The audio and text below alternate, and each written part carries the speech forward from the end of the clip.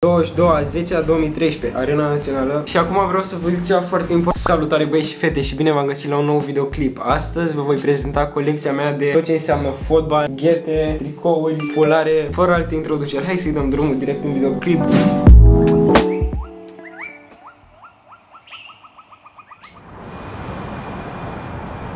Bun, hai să luăm cu începutul. Deci, prima oară începem cu cele mai vechi chestii și după ne ducem la cele mai noi, precum tricou acela cu Barcelona. Dar înainte să ajungem aici, la minunăția asta, ne vom duce prima oară la acest fular. Eșarfă, cum vreți voi să-i ziceți. Este cu Steaua din 2013, dacă nu mă înșel. Uitați aici. Uh, l-am luat de la un meci. Steaua versus Chelsea a fost de pe Arena Națională. Uitați, are mai multe echipe. 22 a 10 a 2013, Arena Națională. Și aici scrie mai mult despre acest fular. O să încerc să vă arăt și vouă. Ah, uitați, așa.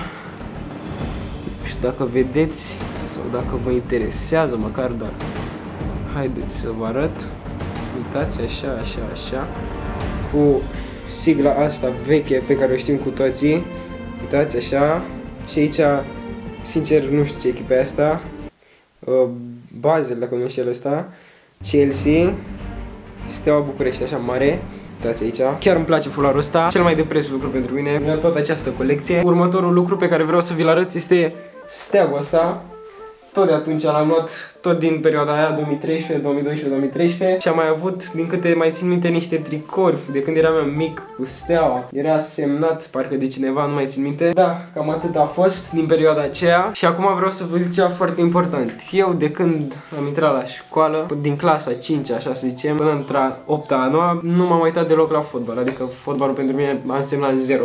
Nu m-am uitat deloc la fotbal nu m-a mai interesat fotbalul practic. Și dintre a noua, de acum, de anul trecut, cum ar veni, m-am reapucat să mă uit la acest sport, să mă joc și toate aceste chestii din partea dreaptă, nu știu dacă mai vedeți, mai sunt și niște ghete chiar aici, sunt relativ noi, de un an, cea de genul, un an, mai puțin de un an, câteva luni. Haideți să nu mai pierdem vreme și acum o să vă arăt aceste ghete de fotbal, le vedeți și voi, nu sunt cine știe ce, Adică uitați-vă, un pic așa și pe spate.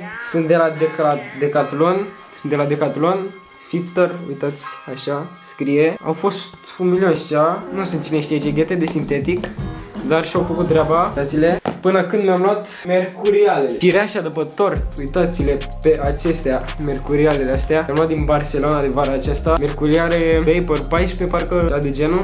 Sunt varianta de Academie. O crampoane, așa, ceva de genul. Merge și pe sintetic, că am mai jucat cu ele și pe sintetic și sunt foarte bune. Au costat undeva la cel 60 de euro, ceva de genul.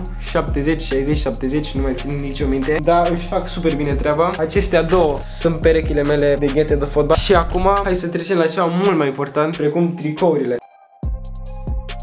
Cum vedeți, deci aici avem 3 tricouri Barcelona și vă las pe voi să ghiciți astea două Deci pe ambele le-ați mai văzut în clipurile mele Vă las 5 secunde să ghiciți, lăsați în comentarii chiar acum Uitați-le pe spate. Acesta este de la Huddersfield Town, echipă din Anglia. Am primit de pe Mystery Shirt. Nu știți ce spică, pur și simplu spică o echipă și, nu știu, mi se pare un pic țeapă dacă stau să mă întreb, dar nici mi-aș fi dorit totuși să-mi pice o echipă mai mare de fotbal. Uitați-l și voi, așa, îl vedeți, uitați așa, joacă în Liga 2 engleză, acesta este logo și din câte am înțeles au un super lot de jucători tineri. Acum urmează acesta, cu simplu, frumos logo echipei mele de suflet aici. Iau la meciuri și la astea importante. Steaua pentru mine, FCSB cum vreți să-i spuneți, este echipa mea de suflet. Ăsta nu are nimic special pe el, dar îl port la meciuri și la ocazii speciale. Mă mai duc așa la un fotbal, ceva de genul. Undeva la 60 de lei pe 40, 50, 60. Foarte ieftin de pe site-ul celor de la Steaua, de la FCSB. L-am păstrat pentru final pentru că este cel mai important și anume acest tricou cu Barcelona. Uitați și voi, cu spot Spotify, tot frumos cu badge de la Liga aici și pe spate, dacă n-ați mai văzut videoclipurile mele, eu frumos aici, pentru că, bineînțeles, eu am fost primit în echipă la Barcelona, dar din păcate n-am putut, că cu școala, cu astea, m-au primit pe mine în echipă la ei, dar n-am acceptat, n-am putut să accept. Eu eram jucătorul cel nou, cum ar veni de la ei. Era o oportunitate bună, dar am zis să rămân aici, să îmi susțin echipa FCSB. Am primit și capitan, să fiu capitan de echipă, dar Asta e, măcar le-am păstrat tricou.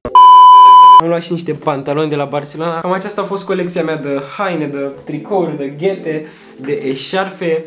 Și dacă v-a plăcut, sper că v-a plăcut în primul rând. O să urmeze videoclipuri și mai tari de la un stadion abandonat, nu vă dau mai multe detalii, de Halloween. Sper neapărat să-l pun de Halloween, de la un videoclip de la un stadion abandonat din București și o să mai urmeze alte football challenge-uri, alte recreeri de goluri, ceva de genul, vreau să recreez goluri din Superliga. Să dați un like, m-ar ajuta foarte, foarte mult, să vă abonați cu clopoțelul activat, să vă lăsați opinia în comentarii, dacă nu v-a plăcut să-mi spuneți de ce și sper că v-a plăcut, noi ne vedem pe data viitoare, pa, pa!